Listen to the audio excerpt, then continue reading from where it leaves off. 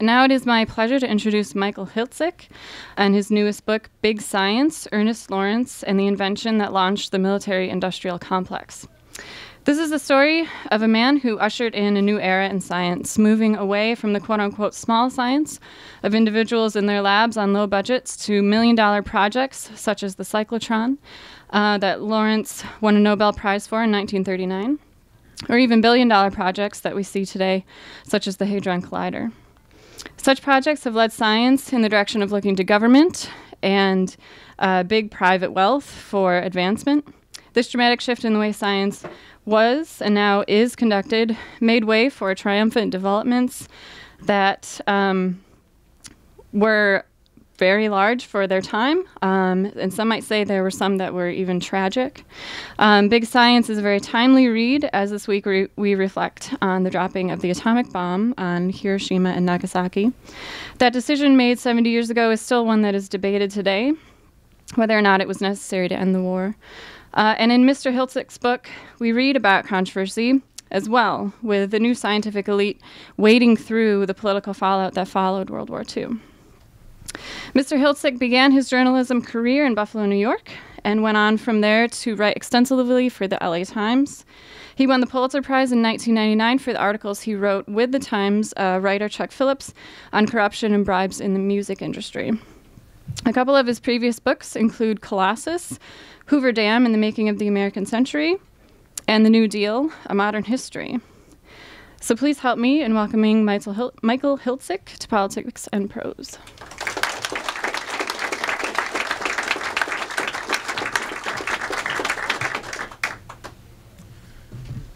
Well, thank you, Candace, for that uh, that gracious introduction, and um, thanks to Politics and Prose for hosting me here uh, tonight. It's great to be uh, here at uh, yet another great independent bookstore, um, and thanks to all of you for uh, joining me tonight to take uh, maybe an hour's respite from presidential politics to talk about science and big science and its achievements and limitations.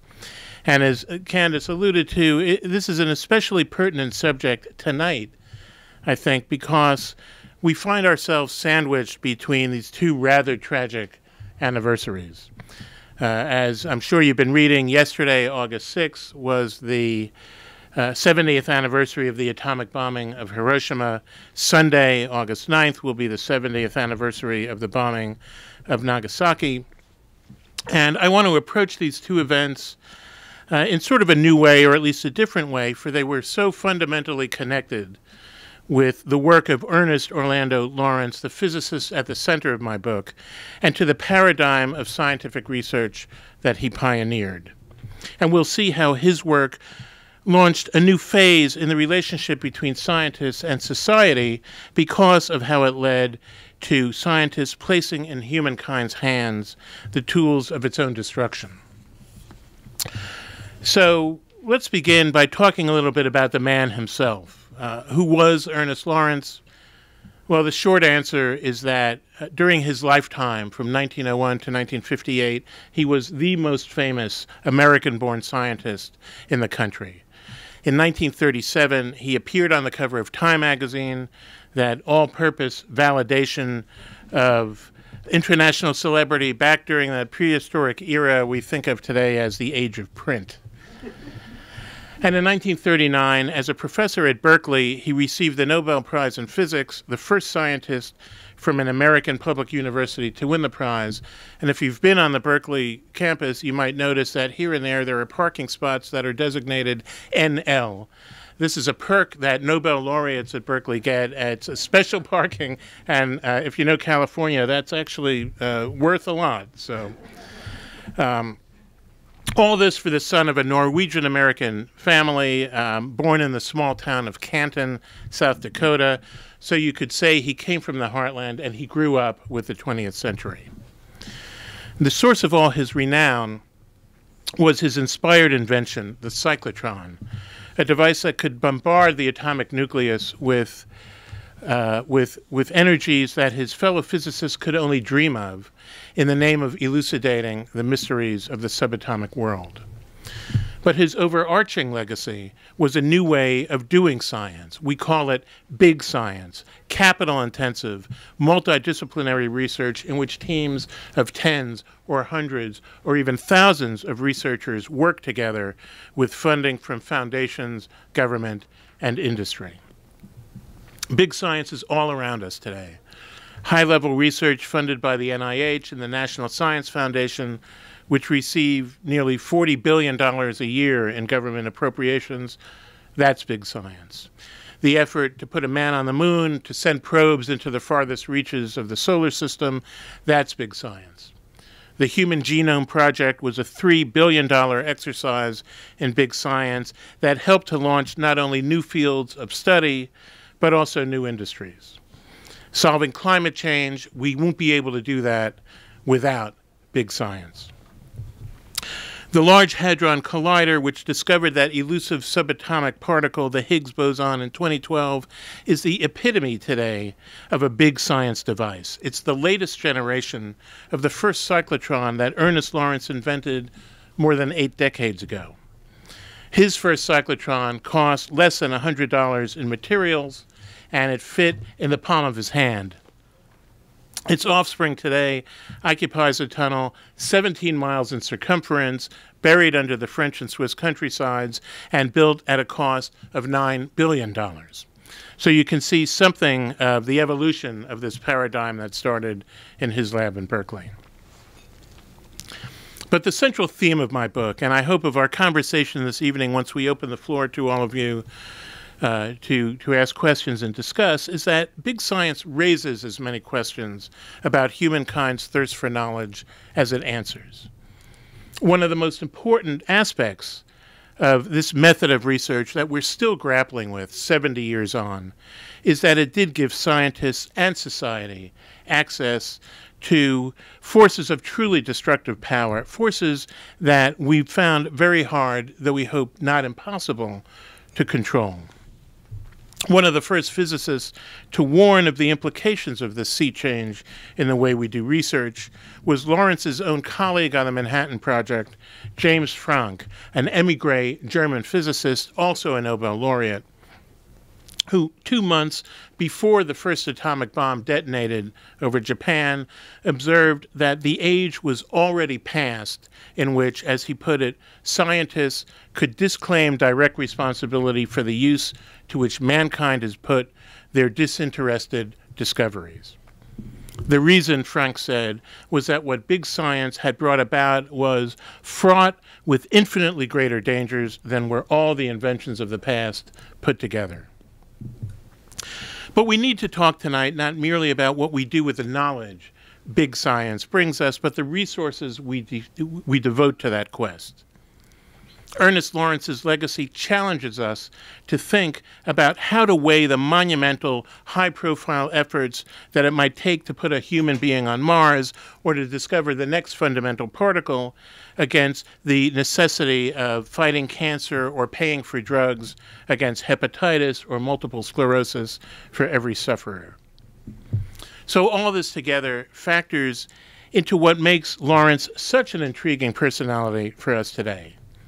And that brings us back to the invention that made his name. It was 1929. Lawrence had just recently joined the faculty of the University of California at Berkeley, and physics was at a crossroads.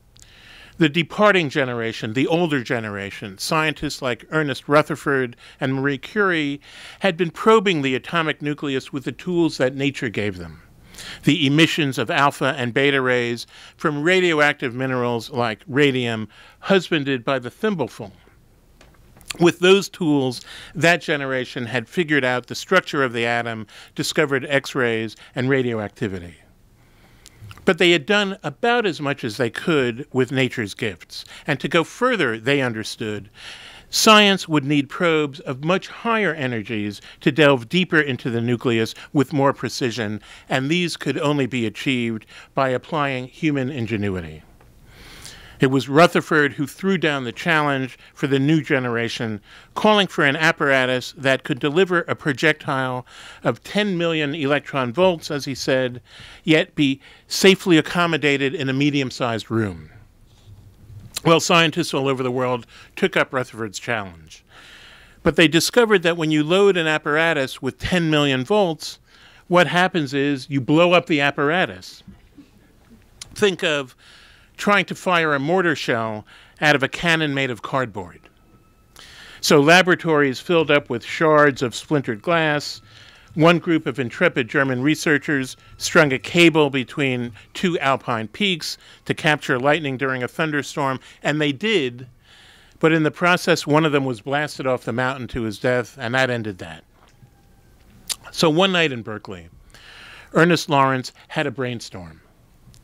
What if you don't put the voltage onto the apparatus itself, but build it up incrementally on the projectile? If you start with a proton, say, with 100 volts for the purpose of illustration, you give it a 100 volt jolt, now it's got energy of 200 volts. Another jolt, and it's 300, and so on and so on. Now, a linear accelerator designed to keep delivering these jolts by a sequence of synchronized electrodes would have to be almost a mile in length to, to achieve the desired energies. Certainly not fitting into Rutherford's comfortably sized room. So here comes the second part of Lawrence's brainstorm. He knows that a charged particle traversing a magnetic field will follow a curved path. So apply a magnetic field to your proton, and you can bend it into a spiral, allowing it to get repeated jolts from just a single electrode. And that's the essence of the cyclotron boiled down to its simplest terms.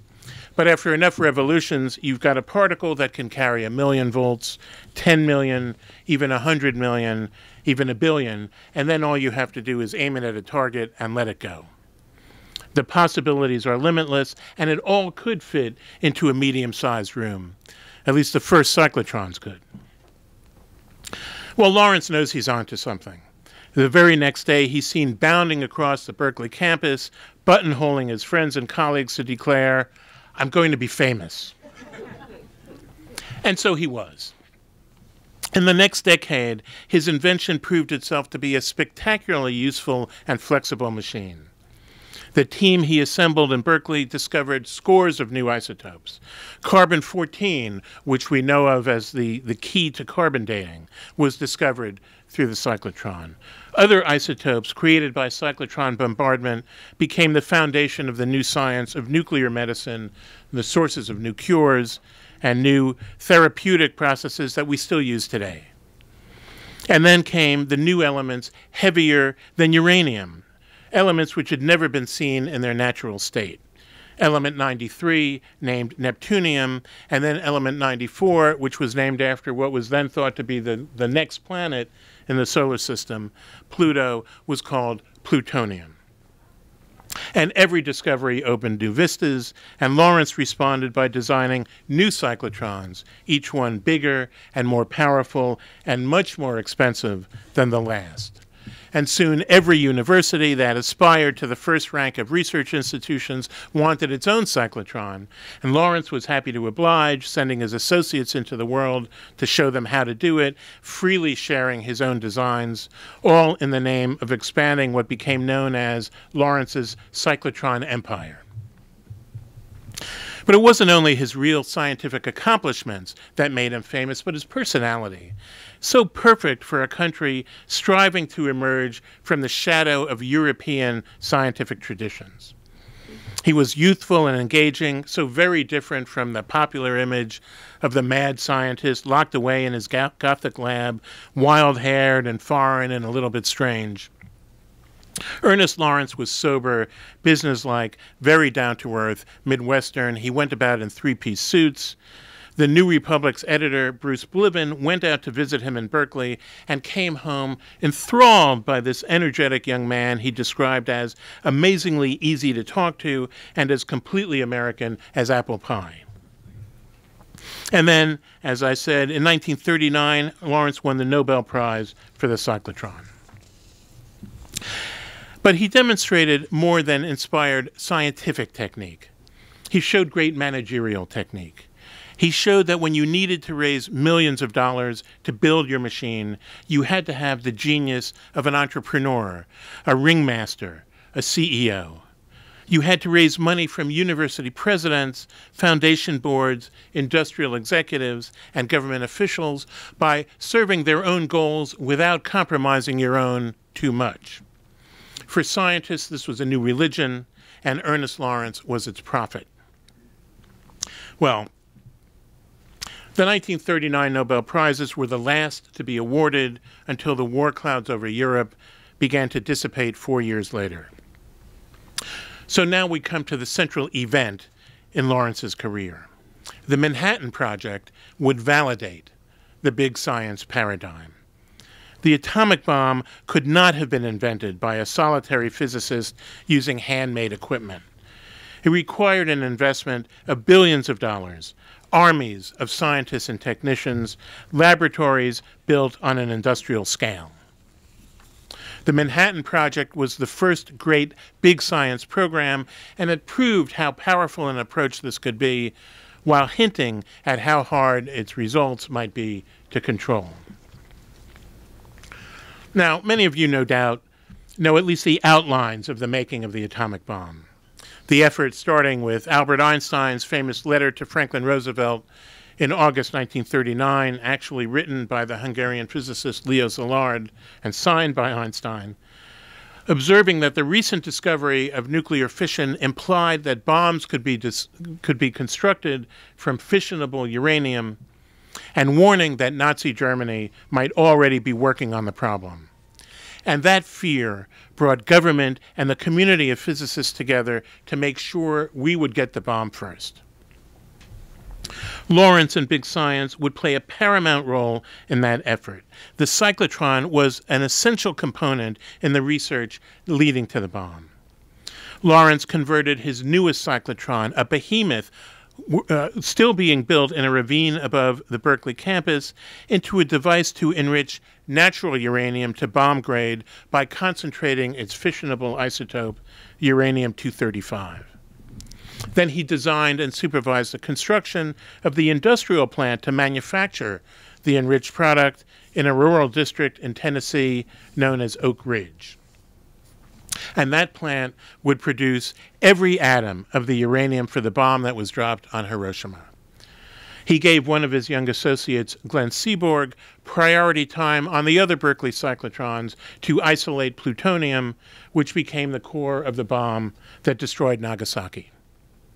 And when General Leslie Groves, the head of the Manhattan Project, came around looking for someone to head up the actual design of the bomb, at the lab that became Los Alamos, Ernest Lawrence nominated his close friend and colleague at Berkeley, J. Robert Oppenheimer, and got him the job.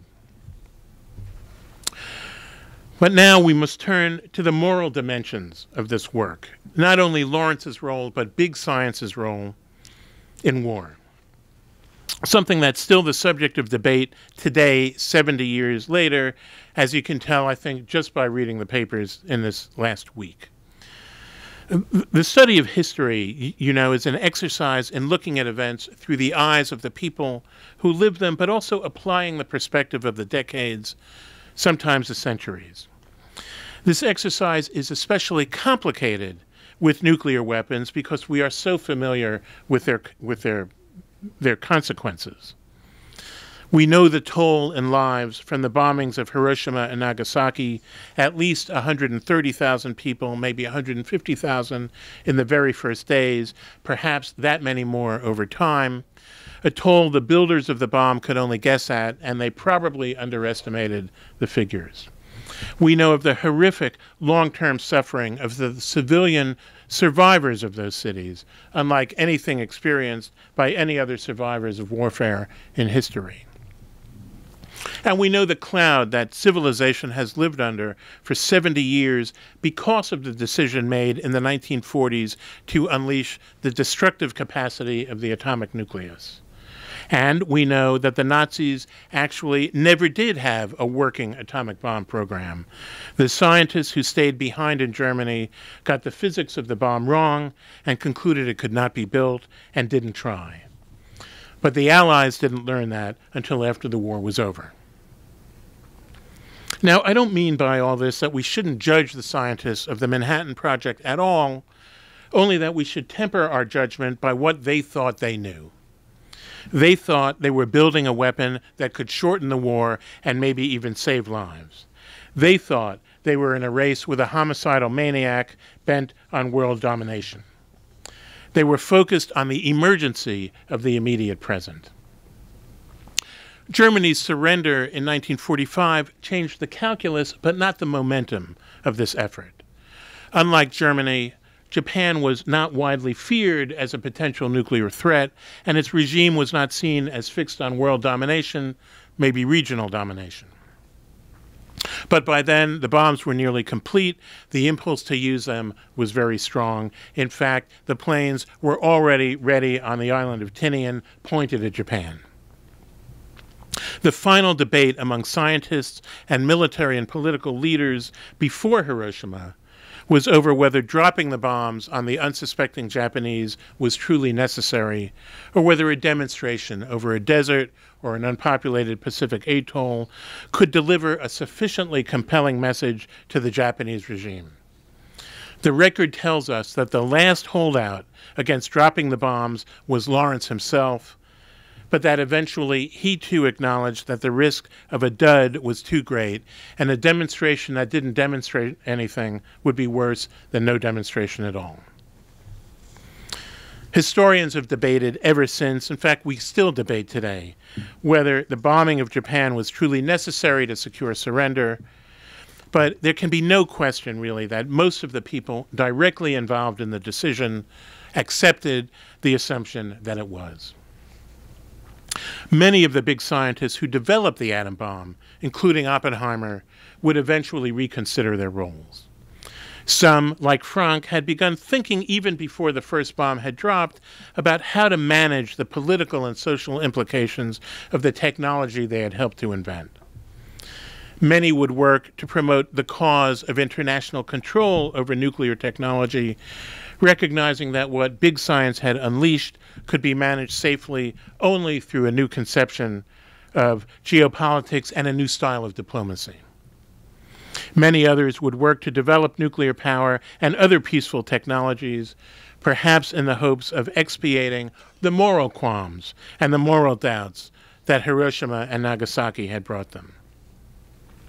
Ernest Lawrence, as it happens, was not among them. Introspection was not his strong suit, and when his old friend Robert Oppenheimer declared that through the atomic bomb program physicists had come to know sin, he responded rather angrily that nothing about his work had caused him to know sin.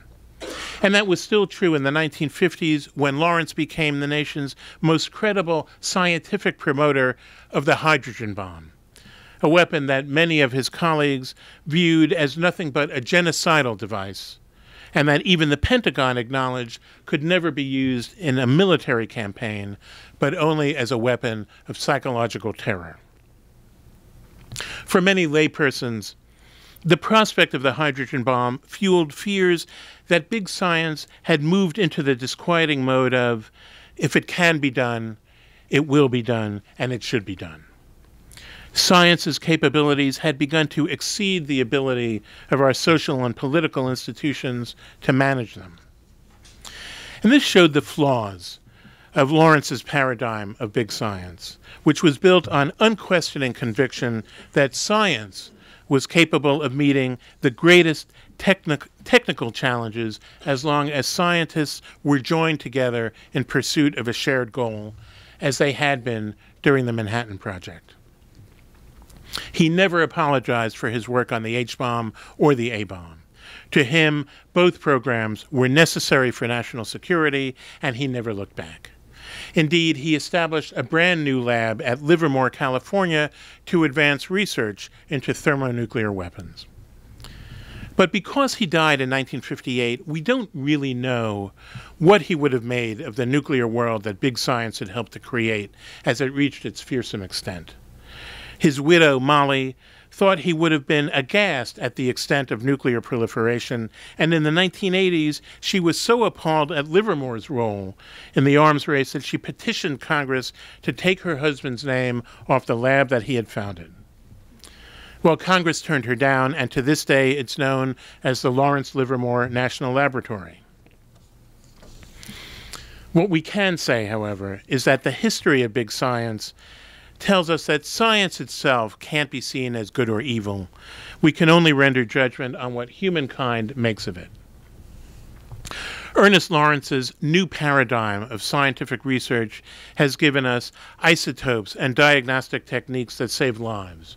It put men on the moon and allowed us to explore the outermost planets and peer deeply into the subatomic world.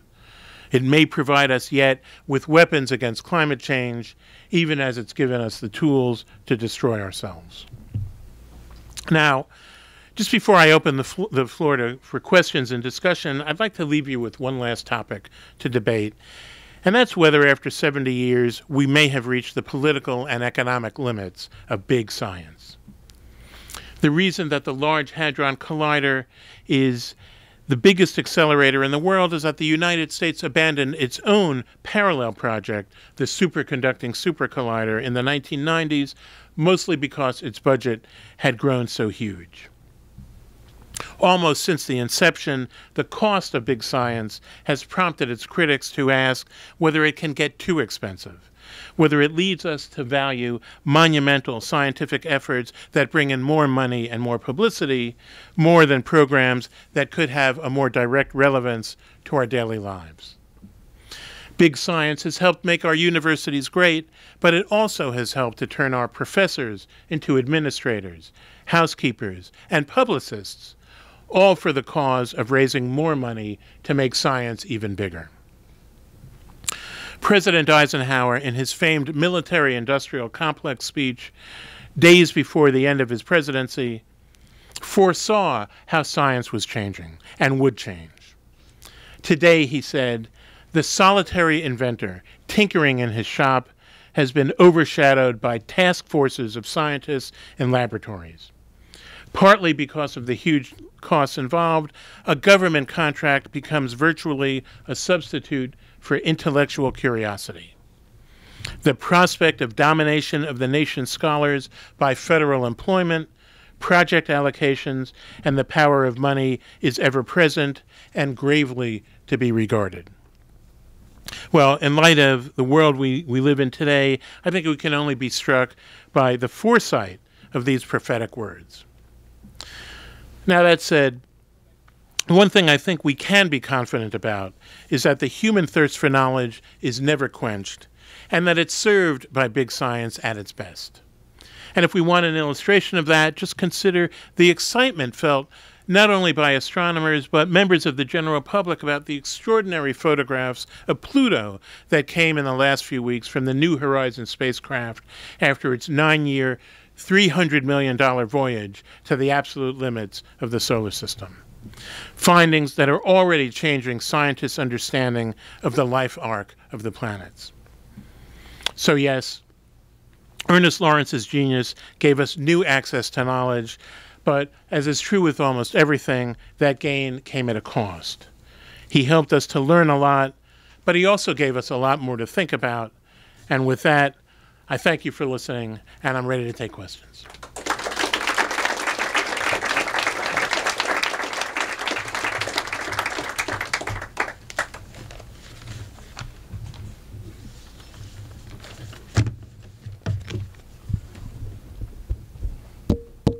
You're on. Got a couple of questions, please. One of them I hope is real simple and short. Just uh, it seemed in some inconsistency seemed like between um, uh, the fact that Lawrence was the the last holdout in uh, in as you you said in decision to uh, use the bomb, and yet he was the one that seemed most the least apologetic about just kind of the role of uh, his lab and so forth in in doing the science that made the bomb possible. I think maybe it was discovery versus use, actual use of the weapon. Maybe that explains. Well, well, I think that was an element of it. Uh, I, I should say, um, uh, something I didn't mention, which is that Lawrence was also the scientist who who introduced, uh, for the first time at a government panel, the idea of a demonstration. So he was interested in seeing if that would work. He was basically outvoted and out-argued by people like Oppenheimer, who thought that a demonstration was really just too risky. Um, the the element of all this that Lawrence really never apologized for was the idea of building the bomb, putting forth these programs, um, making sure that America and the and the, the, United Kingdom had access to these weapons before its enemies did and could protect themselves. So. Uh, life forces inconsistencies upon us, but I think in this case, he, he basically ended up acknowledging that there was no alternative to actually dropping the bomb on Japan. Right, and then more importantly, you seem to be saying that you thought maybe there's evidence that we're you know reaching kind of the limits of big science as far as you know, and that the SSC uh, superconducting super collider and its sort of political failure in this country is is evidence of that, and yet um, you could say that was because it was that the the reason for it was not not very clearly appreciated well, by the public. That, that's a, that's a very good point, and I think we can gain a lot of lessons from the fate of the superconducting super collider. Um, uh, at the time that it was canceled, the government had already spent two billion dollars on it, and uh, the, the, the prospect of further ex expenditures uh, it looked they looked to be limitless. A new Congress was coming in. These were this was a new uh, class of congressmen who had run on the idea of smaller government, less less spending, and there was a problem with the superconducting super collider, which is that the physics community itself was, was, was of two minds about it. There were many physicists who thought that it was too big a project and that it would suck up resources for, for a narrow area of physics and would leave too much other research unfunded. So um, uh, so there were a lot of complexities there. I think what that tells us is that when you really are faced with expenditures of this magnitude, they become a political issue, and you really have to make sure that you do make the case, as you said, to the public that, that these are necessary expenditures, that these projects will produce uh, outcomes that, that really do benefit society and, and, mankind. That's not always easy to do, but it really is. That's the task before scientists who want to push these sorts of programs ahead. Thanks.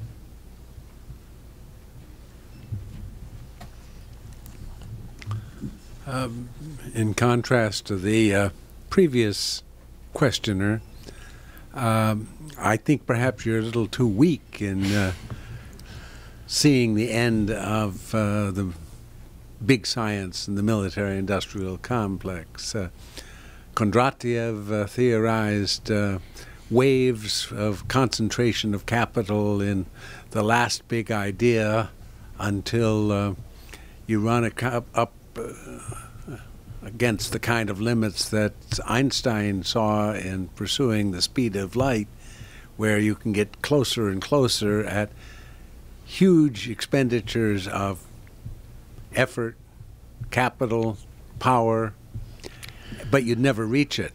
Uh, and uh, I just wonder whether, you know, in reading about things like that uh, new fuel free uh, engine that was invented by a schoolgirl in Egypt and has now been validated by three national laboratories, uh, we may be seeing a new paradigm that will destroy big science and start uh, people working in their well individual well, you, labs. You, you could be right. All I can say to that is that paradigms are often only visible in a rearview mirror, um, and they're they're hard to spot. Um, uh, when you're actually uh, in the midst of them. Um, of course, the, the end of big science has been projected and predicted many times in the 60s and the 70s, again in the 90s, and there are concerns of scientists today that uh, that new projects of this magnitude are going to be a very hard sell.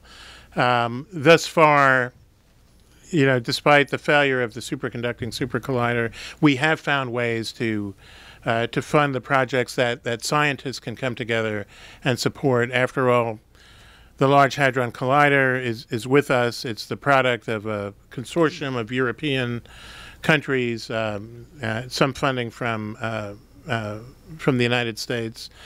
Um, and there were plans to make it bigger and to and to extend its uh, its powers. So uh, we don't know. There's cause for concern. Uh, I'm not sure that looking at things really granularly, we can say that big science is definitely finished. But we'll know more in 10 years, I suppose. Uh, getting back to the uh, dropping of the atomic bombs, I think a, a, strong argument can be made that for the first one, was actually saved American lives and more Japanese lives than it cost, as tragic as it was. My question is about the second one. why did it happen so quickly? Was it really necessary? To, and, and should the United States have waited and, and allowed the decision-making process to go through and, and did you have you come across anything on? Well, I, uh, it, you may know that there's an extensive literature on the decision to, to drop the bomb, and not only Hiroshima but Nagasaki. And uh, the notable thing that I found in this extensive literature is that uh, it doesn't come to a conclusion. Um, I think it, to to really understand uh, Nagasaki in particular uh, you you really have to factor in uh, political goals and also military goals. Uh, I mean, certainly there was a uh, there was a recognition that the geography of Nagasaki was very different from Hiroshima. There, there may have been, uh, I think there probably was a, uh, a desire on the part of military planners to get a fuller picture of what the effects would be of this sort of weapon. Um, there might have been concern that the Japanese hadn't actually um, spoken soon enough, uh, and that you know the second bomb would finally bring them to the table. And as I'm sure you know, there's also uh, a school of thought that the Japanese were on the verge of surrender anyway. The the pending entry of the Soviet Union into the war was going to do the deed there's uh, a lot went into this decision. There's a lot we don't know. Um, uh, there was a lot of thinking that was done on the ground that uh, that's very hard to to really appreciate. I think in, in, hindsight. I mean, hindsight is an educational process, but and I think we are still learning um, the full dimensions of of all the aspects of this decision. Thank you. Um, on big science, we, we're here in Washington D.C. What are the big organizations supporting big science? You mentioned NIH. Uh, what are what are some other ones? Well, the NIH, the National Science Foundation. I think those are the biggest ones um, that are certainly government funded. Um, Forty billion dollars a year. That's that's uh, you know a big source of, of funds. So NASA, uh, NOAA, uh, all of these uh, uh, all of these agencies that put satellites into space um, and that fund um, important research in earth sciences, space science, underwater, what have you. These are all really involved in big science in one way or another. Mr. Hiltzik, thank you for this very interesting talk. Um, in this book and in this talk, you seem to characterize big science as this unstoppable freight train.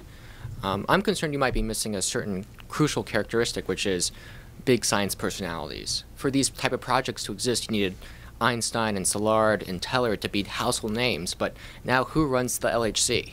You know, I, you know, you needed actual people with political influence to make these projects happen. With, you know, modern big science, you don't need these type of household household names and household personalities. Well, we, we don't have them. In, in, fact, in my book, I actually do address that that question. Um, the generation of uh, high-profile scientists that was exemplified by Ernest Lawrence, um, Robert Oppenheimer.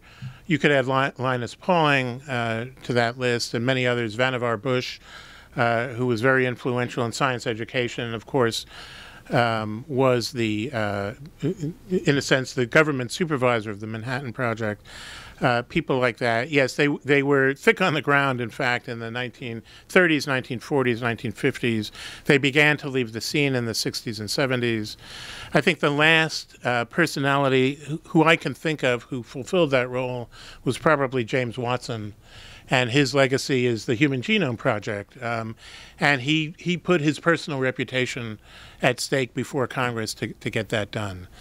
Um, and I think this goes back to what I said just a few minutes ago, which is that when when you are talking about uh, programs of this magnitude, you, they do become political, uh, and the issues become political, and it does help to have individuals who have stature and respect uh, to make the case. Uh, I don't know who I would point to today we can only hope, uh, in the name of science, that that people emerge over over time. Uh, this this gentleman here, I think, has a question, but probably doesn't want to go to the microphone.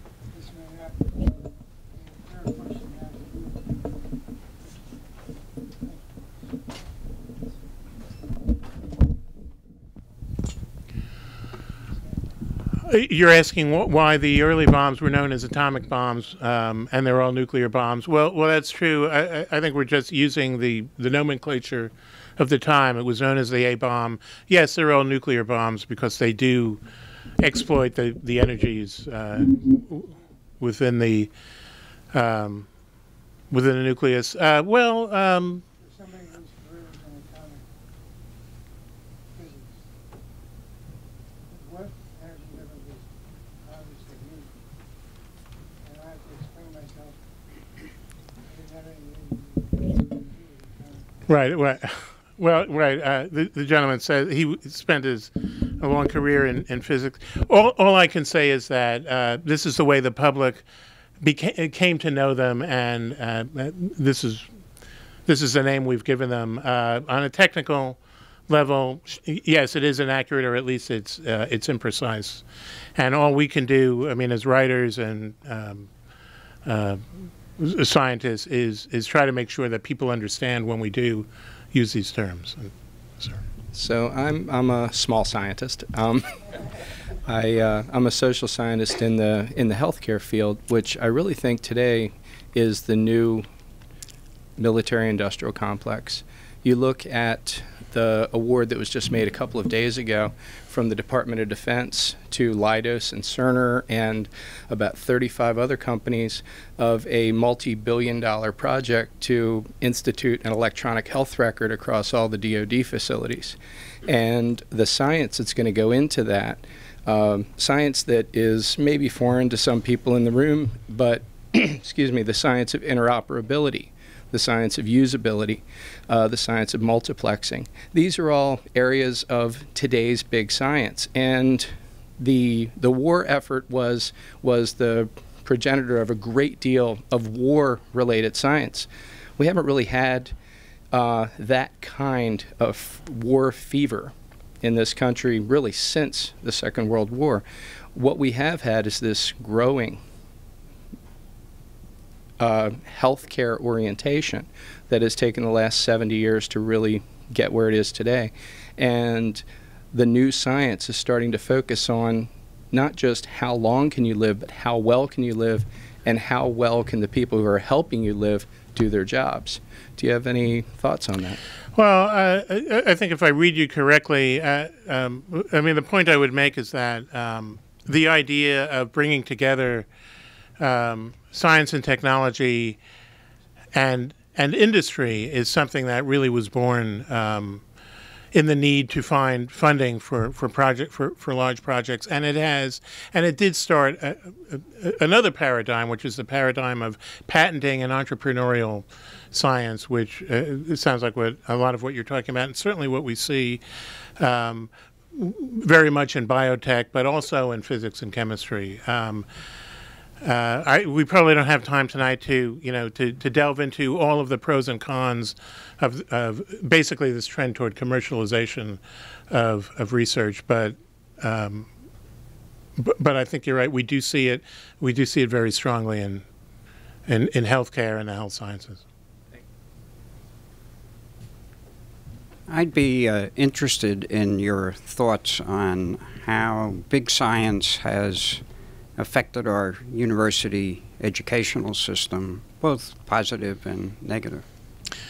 Uh, well, as I alluded to at the very close of my of my talk, uh, there's there's reason I think to be concerned about the the impact that uh, that big science, that some of the aspects of big science has had on the university. I would point out that the man who actually coined the term big science was Alvin Weinberg, who was a, a, a distinguished physicist who at the time was uh, the director of the Oak Ridge Lab that uh, that Lawrence had founded. It was 1961, and in an article in Science magazine, Weinberg raised some of these questions. He said that uh, that we were going to replace um, thinking with money, and that the universities were going to be very vulnerable to this sort of trend. Um, he he foresaw the the evolution of professors and administrators into fundraisers and uh, uh, and impresarios, and uh, and uh, he was very concerned about that and, and thought that.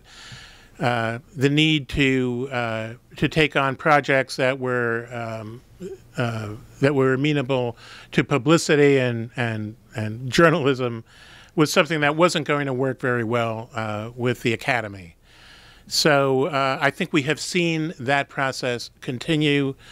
Um, when Lawrence invented the cyclotron, he came under great pressure to patent the machine from his financial patrons.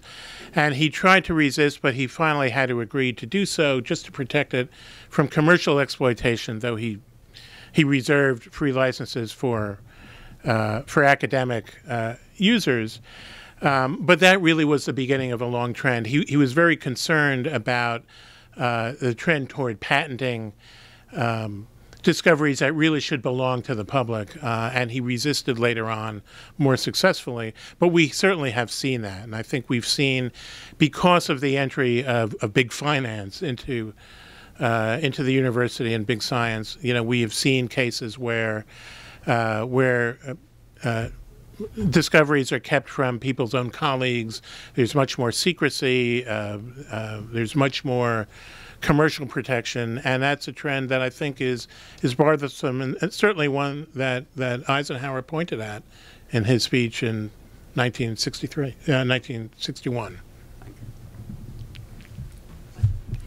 Um, throughout the the um, history of science. Military needs have often dri- driven scientific discoveries, and often scientific discoveries start. The technological use is military, and then it shifts to um, non-military uses. Now, with big science, as you've described, it's much more lethal and much more expensive. But are there other differences that differentiate this this long flow of history? Well, no, I think this is th- this is another concern that Eisenhower uh, pointed at is that when you bring together military goals and industrial goals, you end up often, or the risk is that you're going to end up with something that uh, that serves their goals but not the public interest. And he was very concerned about that. And I think that is what you know when you when you have scientific projects that require big patrons. Um, when they when they are industrial patrons, they are going to be inclined to focus on uh, projects that they think have a commercial uh, advantage to themselves in their core businesses. And I, I, I, think one of the concerns that we should have is the shift funding of expensive big science programs from government toward industry. Um, government is going to be inclined to fund basic science. Uh, we need that. We need to have scientists working at a level where they are just going to follow their nose and take their research where it comes, because that's the seed corn, really, of, of everything that we end up with uh, uh, uh to make our lives better and safer and simpler and healthier. Um, I, I, think if you look at the figures, you, you will see that industry is taking on a much larger share, certainly since the uh, the 1970s, a much larger share of uh, of America's research overall, and that is going to, to end up in a narrowing of focus that, that I think is not going to do us any good at all.